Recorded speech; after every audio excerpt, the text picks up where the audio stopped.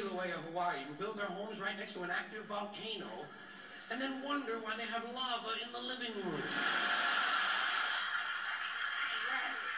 The planet will be here for a long, long, long time after we're gone, and it will heal itself, it will cleanse itself, because that's what it does. It's a self correcting system. The air and the water will recover, the earth will be renewed.